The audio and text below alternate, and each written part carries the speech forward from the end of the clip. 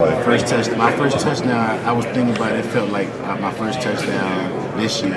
Yeah. was Wake, Wake, well, it felt like my touchdown was. It was a, a lead play to the right side, about a 35 yard touchdown. Yeah. Uh, junior year.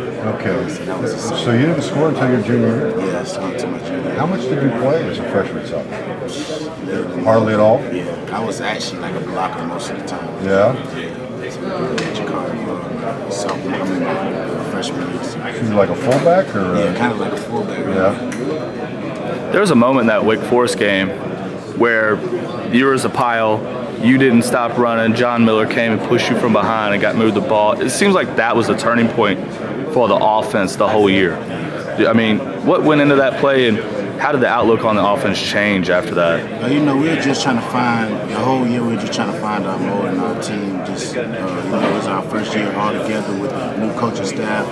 We had new players coming in, recruited. But we just had to find our, our way inside of the season. I think that that helped us define our offense. It helped us know that we are a hard-working offense. That just helped us uh, adjust, know, keep moving forward from there. Our offensive linemen believe in running backs. We believe in them, so I felt helped the whole team the running game and uh, helping the passing game as well. And as games go on, you seem to get stronger, or you, the guys just get tired, you just to running them over. Just some thoughts about your conditioning and of strength you have underneath and what makes you so difficult.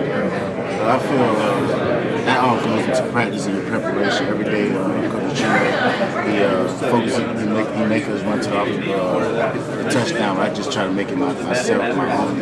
I make it, I take it personal running 100 yards every half and 100 percent every run I get. Cause, you know, in practice, if you don't practice, you're not gonna come in the game and do it. It's just not a thing. It's just like do. So every time I get out there, I just feel I have to work 100 percent. So you don't know the next guy out there probably. I feel like somebody's trying to work harder than me. So I just want to be the hardest worker I can. You know, be a competitor. Because you know when the game comes, just want to be the best you can.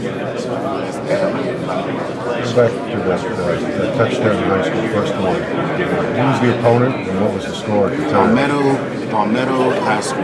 Yeah. That's my uh, high school I was supposed to go to. but I went to a private school. Yeah. In Columbus. So it was a lot of a lot of family and friends that I knew from middle school. It was just excitement to just throw my first high school touchdown.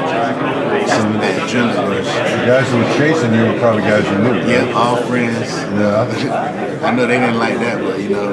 Was it a close game? Was it late in the game? Uh, this was actually like the first half, man. I didn't know how my season was gonna go, how, how anything was gonna go. 'cause I really haven't played that much.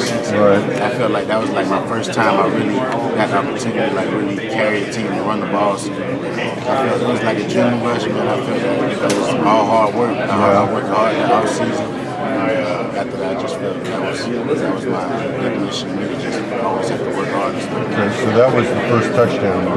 Was that a big game otherwise? And you score a couple of touchdowns? Or, Uh, uh what that was that was my first time. That was my first my first high school game. I actually really played. And that's my first hundred yard game. So Oh, I was. I was hyped off of that. Yeah, I guess. Whole family was. I don't. I don't know if I would say shocked at the moment because they knew I could play with it. I really hadn't played until my junior year, so Right. it was all kind of all coming out of out of storm. Where was the game? Uh, FIU high school. Yeah.